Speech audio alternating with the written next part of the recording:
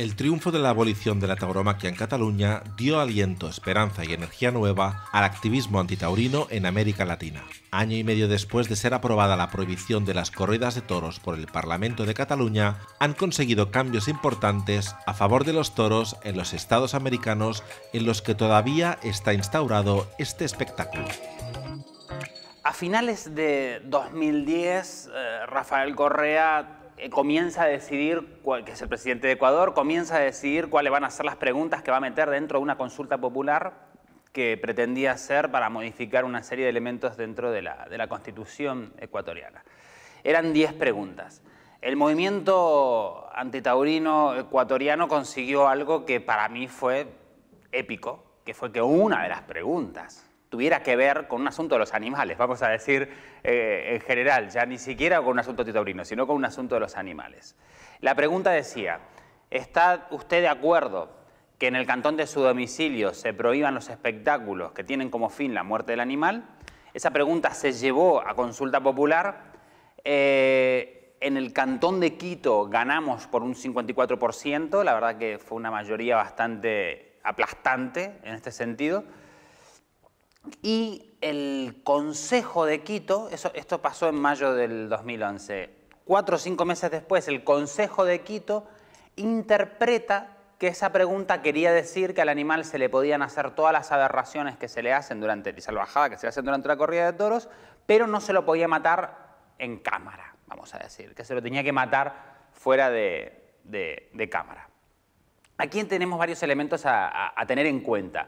El primero, y el más importante, el Consejo de Quito no puede interpretar una orden constitucional y popular como un referéndum no tienen la capacidad de hacerlo. Ecuador es un país que tiene lo que se llama el quinto poder, de democracia directa y participativa. Por lo cual, si la democracia directa y participativa tiene que pasar sí o sí por democracia luego legislativa, ¿qué sentido tiene que Ecuador haya, declarado justamente un quinto poder dentro de su país? No tiene absolutamente ningún sentido. Pero por otra parte, además de no tener sentido, independientemente que lo hubiera tenido y que hubiera sido necesario interpretar esa pregunta cuando no era necesaria, la aplicación era muy, era muy clara, decía la palabra prohibir y la decía clarísima, no decía la palabra, ¿está usted de acuerdo con que se reformen los espectáculos? No, que se prohíban los espectáculos con este fin.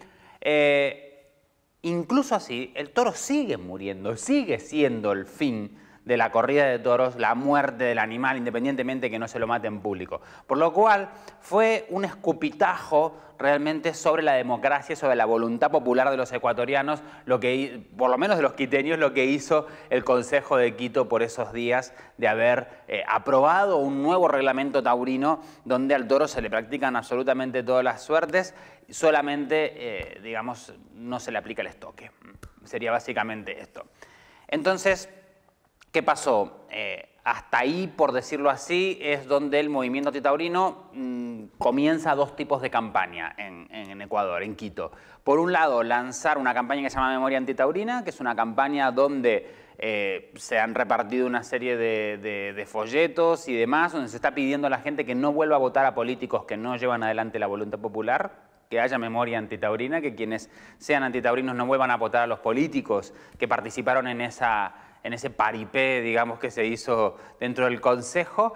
Eh, y por otra parte, también bueno, se continuaron con toda una serie de actos, manifestaciones, organizaciones como FATA, por ejemplo, que continuamente realizaba organizaciones, eh, manifestaciones en frente del, del Consejo de Quito, etcétera por lo cual, eh, esta reforma de las corridas de toros, contrariamente a lo que se pensaba, es que iba un poco a buscar un acuerdo de las partes, generó una división todavía superior. Y esto creo que es importante, ¿no? Muchos políticos creen que reformando una corrida de toros de menos sangre van a conseguir que se acaben las protestas. Y en realidad en Quito se demostró todo lo contrario, lo que consiguieron es que se multipliquen las protestas.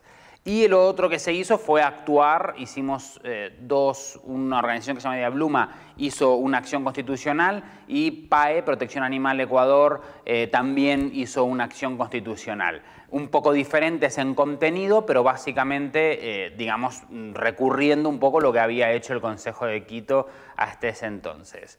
Y hasta aquí, digamos, es donde, donde estábamos hasta hace cuatro o cinco días. Nos enteramos mediante la prensa, nos habíamos enterado por unos pequeños rumores unas horas antes, pero nos enteramos mediante la prensa que eh, Cito Tusa, que es la empresa que organiza las corridas de toros en Quito, estaba levantando la feria por la escasez en la venta de abonos.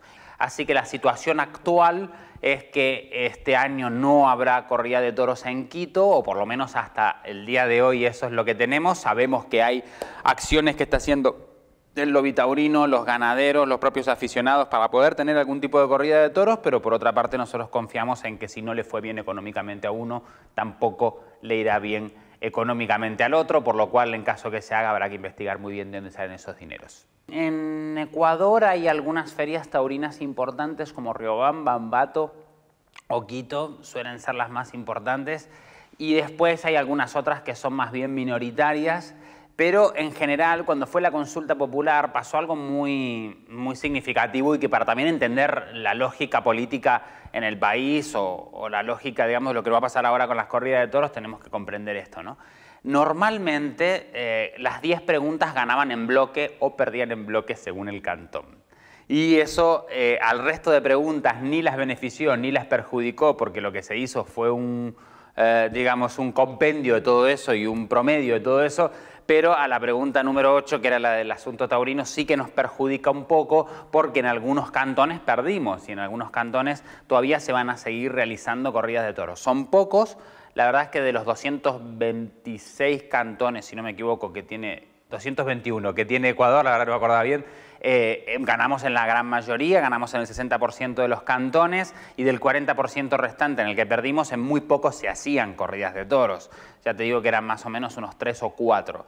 Pero bueno, evidentemente hay una, hay una realidad y es que el Cantón de Quito era el que convocaba las figuras más importantes eh, sobre todo las internacionales. El año pasado fueron incluso toreros españoles a torear aquella corrida mutilada y este año pues, pensaban volver a ir algunos toreros españoles a torear en esta corrida mutilada, por lo cual también nos ha servido a los abolicionistas para demostrar que el único objetivo que hay detrás de la corrida de toros es económico todo esto de cultural y tradicional, ellos mismos son los que están apoyando reformas, ellos mismos son los que están apoyando lo que es la suerte suprema, ¿no? que es la muerte del animal o el sacrificio, dicen que es un ritual sacrificial, bueno, ya no lo es, sin embargo lo siguen apoyando los toreros españoles, los toreros quiteños y demás, y esto demuestra un poco la gran hipocresía y nos sirve como un precedente para mostrar en otras partes del mundo que realmente lo único que hay detrás del asunto de la tauromaquia es una cuestión pura y exclusivamente de dinero. Que cuando reformaron la corrida, mientras hubo dinero, fueron y le hicieron igual, y este año, con la corrida también reformada, ya no la piensan hacer, pero básicamente porque no fueron bien las entradas.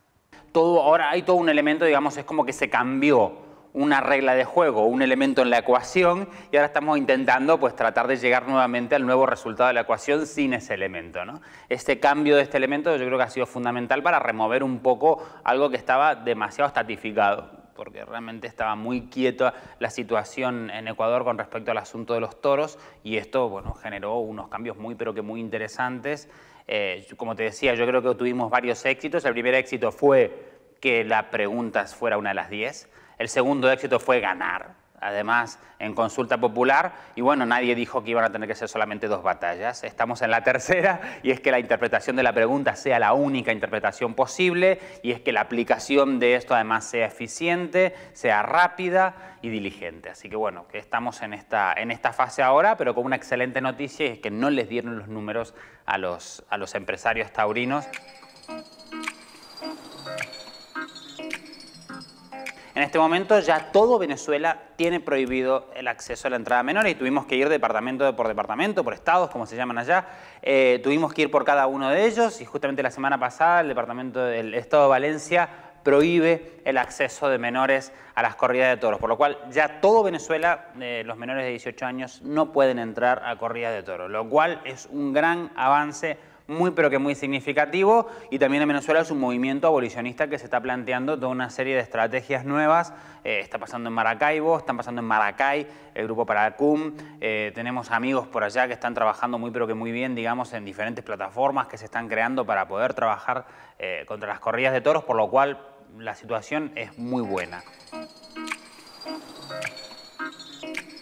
En Perú Creemos que este mes, a más tardar el mes que viene, se va a votar también la prohibición de la entrada de menores. eh, de 18 años. Además, en Perú hay dos iniciativas legislativas populares en marcha para prohibir las corridas de toros, más una buena cantidad de asambleístas que están de acuerdo con la reivindicación y que están alzando la voz en contra del uso de animales para espectáculos. Perú además acaba de prohibir los circos con animales hace muy poco, por lo cual eh, es muy interesante, muy pero que muy interesante también la situación que se está viviendo en Perú ahora mismo. El país probablemente más avanzado es Colombia.